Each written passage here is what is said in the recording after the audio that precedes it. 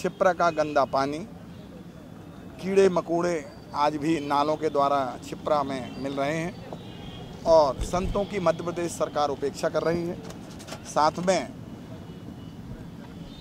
सनातन धर्म की रक्षा के लिए हम सब संत संत समाज ने सरदर्शन साधु मंडल मध्य प्रदेश एवं आचार्य परिषद मध्य प्रदेश के द्वारा जंतर मंतर दिल्ली में हम सब संत समाज ने धरना प्रदर्शन का आंदोलन कर रहे हैं।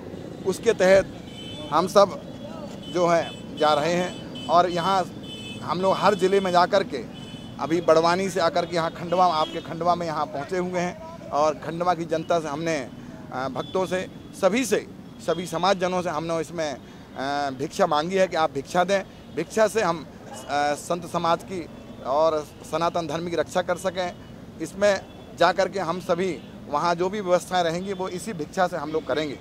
मैं आपकी मीडिया के माध्यम से कहना चाहूँगा कि मध्य प्रदेश सरकार पूरी संत समाज की उपेक्षा कर रही है और ना जो कुंभ हो रहा है सिंहस्थ कुंभ हो रहा है उज्जैन में, उसमें भी आज भी अव्यवस्थाएँ हैं।